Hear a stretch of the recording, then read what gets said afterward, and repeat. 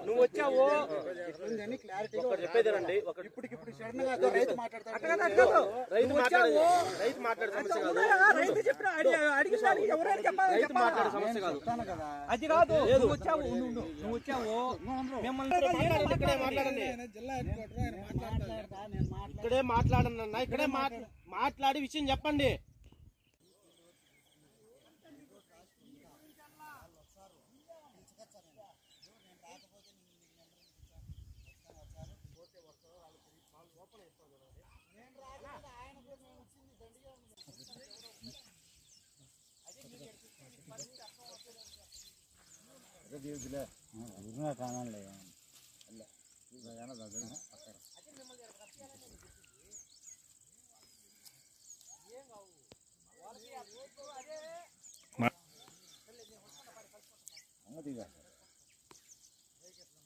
తీసినాడు ఏమన్నా మీ మొహాలు కనపండి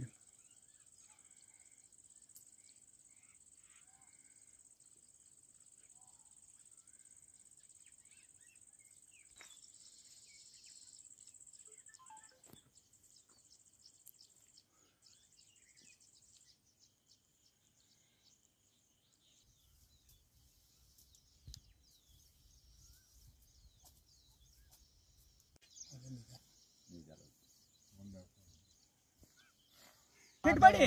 ఏమన్నా చూడు! ఒక్క కాయ ఉందేమో చూడు! ఇప్పుడు ఈ ఈ ఎన్ని రోజులు నేను చేసా కాయ అంటే పూత రాలిపోయిన దానికి కొత్త రాలిపోయిన దానికంటే అది గింజ డబ్బులా ఏందా ఓ, లేదు ఎందుకు? ఎందుకు దరిద్రం ఇది? ఇదిగో లాగు, లాగు, తీసుకో. ఎందుకు? ఎందుకు చెప్పు? ఎందుకు చెప్పు? ఇగో ఎత్తుకోపో, ఏమన్నా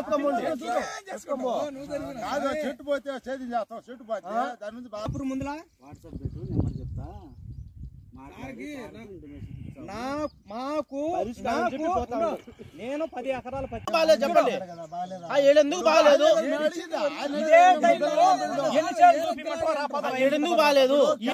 తీసుకొని నేను మీకు ఫోన్ చేసి ఇప్పుడే చెప్తాను చేయండి ఫోను. ఇల్లు ఉన్నప్పుడే మాట ఇప్పుడే చేయండి. మా పొట్టు పెట్టుబడి మందలేంది మా గింజల మందలేంది మా వ్యవహారం ఏంది మా పరిస్థితి ఏంది? మాకు క్లారిటీ కావాలా? అది క్లారిటీ ఇచ్చి ఏదైనా చెప్పండి.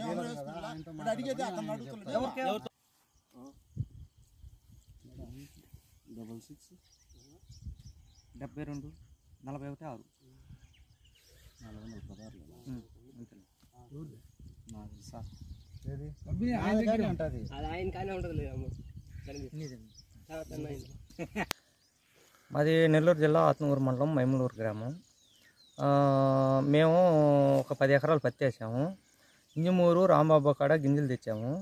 అవి అసలు ఏమి ఇప్పటికి ఒక పిండి లేదు ఒక కాయ లేదు. సుమారు ఒక మూడు లక్షల రూపాయలు లాస్ అయిపోయాము. మాకు ఏదైనా న్యాయం చేయాలని చెప్పేసి వాళ్ళని పిలిపించాము ఇప్పుడు. వాళ్ళు సరే ఇంకొక వారంలో చెప్తామని చెప్పి ఇప్పుడే చెప్పారు. చెట్లు కాపు అసలు లేదు. ఒక కాయ లేదు ఒక పిండి లేదు. సుమారు వేసి నాలుగు నెలలు అయింది. ఇప్పటికి అసలు ఏమీ లేదు. అసలు చేయలేక ఇప్పటికి దిగన దిగల. మండలం నెల్లూరు జిల్లా మైనూరు దుంతూరు వెంకటేశ్వర్లు ఈ గ్రామంలో పది ఎకరాలు పత్తి వేసిన మాకు ఏం లేదు. దీంట్లో చూడబోతే మాకు లాస్ ఇచ్చింది. ఆయన నిన్న కంప్లీట్ ఇచ్చాను. దానికి ఏదో మాకు పరిష్కారం చేయమని మేము అడుగుతాము ఏముంది ఏముంది సార్? ఏం లేదు సార్. ఎందుకని మేము కూడా ముందు కూడా తాగాలనుకుంటున్నాం సార్. ఎందుకని మా పరిస్థితి కూడా అట్ట ఉంది ఇప్పుడు పది ఎకరాలు చేస్తే అట్లా ఉంది ఏం చేసినా కూడా ఏం లేదు మా కాడ. చూడబోతే ఇప్పుడుకి ఐదు లక్షలు ఆరు లక్షలు మాకు లాస్ ఏడ తెచ్చి పెట్టాము? కూలోళ్ళు చూడబోతే ఇట్ట అయింది చూడబోతే ఇట్ట మేము ఏం చేసాము? మొక్క పరిస్థితి ఏమో బాగుంది. చూడబోతే దిగుబడి లేదు మాకు. చూడబోతే కాపు లేదు దిగుబడి లేదు. ఏం చేయాలి వాళ్ళని? పత్తి గింజలు వాళ్ళని. అది పరిష్కారం. ఆత్మకూరు మండలం మహిమలూరు విలేజ్ గ్రామం అతనికి అయ్యలరెడ్డి వెంకటేశ్వర గారికి పత్తి విత్తనములు ఇచ్చాము. అది పూత పిందె రాలిపోతుందని చెప్పి మాకు కంప్లైంట్ చేశాడు. మేము కంపెనీ వాళ్ళని పిలిపిస్తున్నాము. పిలిపించి అతనికి పరిష్కారం చేస్తాము.